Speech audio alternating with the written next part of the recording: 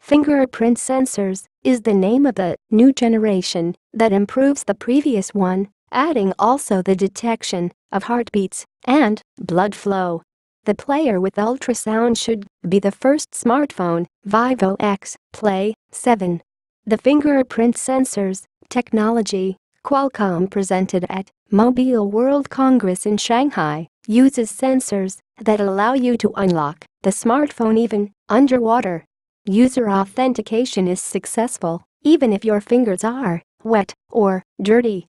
The glass and metal version is compatible with the latest processors Snapdragon 630 and 660, while for OLED displays requires new processor. Fingerprint sensors for glass and metal will arrive on devices that will be on sale in the first half of 2018.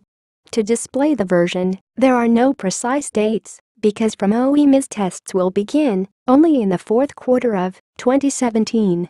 The next candidate is therefore the Galaxy S9. The future iPhone 8 should have an ultrasound reader, but Apple will probably anticipated by Vivo.